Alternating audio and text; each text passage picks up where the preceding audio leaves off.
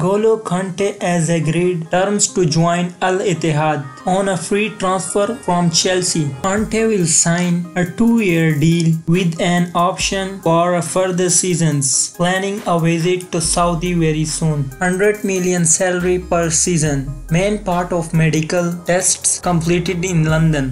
Kante and Benzema will be together at Al Ittihad.